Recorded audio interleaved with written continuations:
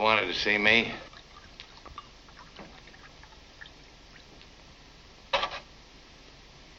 So you're a private detective. I didn't know they existed except in books, or else they were greasy little men snooping around hotel corridors. Ah, you're a mess, aren't you? I'm not very tall either.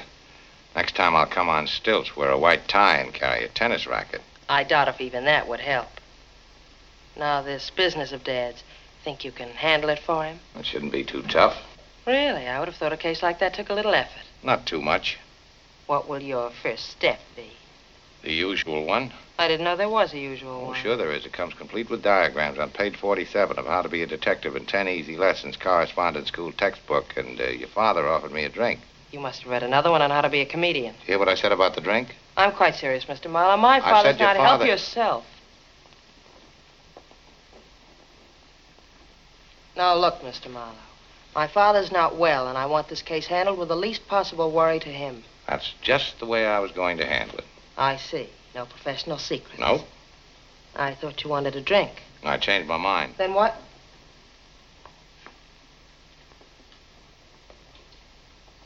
How did you like Dad? I liked him. He liked Sean. Sean Regan.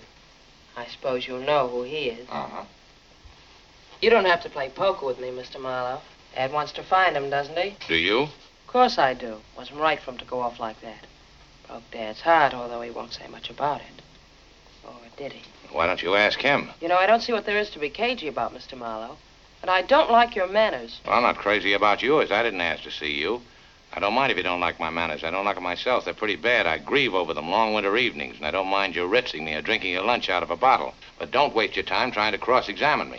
People don't talk to me like that. Oh. Do you always think you can handle people like uh, trained seals? Uh-huh. I usually get away with it, too. How nice for you. Just what is it you're afraid of? Dad didn't want to see you about Sean at all, did he? Didn't he? Could you find him if Dad wanted you to? Maybe. When did he go? About a month back. Just drove off one afternoon without saying a word. They found his car parked in some private garage. They? Who's they?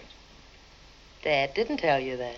Oh, yes, he told me about Regan, but that's not what he wants to see me about. That's what you've been trying to get me to say, isn't it?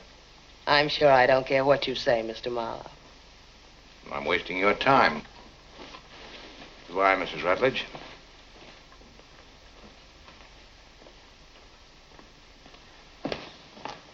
Oh, Norris. You made a mistake. Mrs. Rutledge didn't want to see me. I'm sorry, sir. I make many mistakes.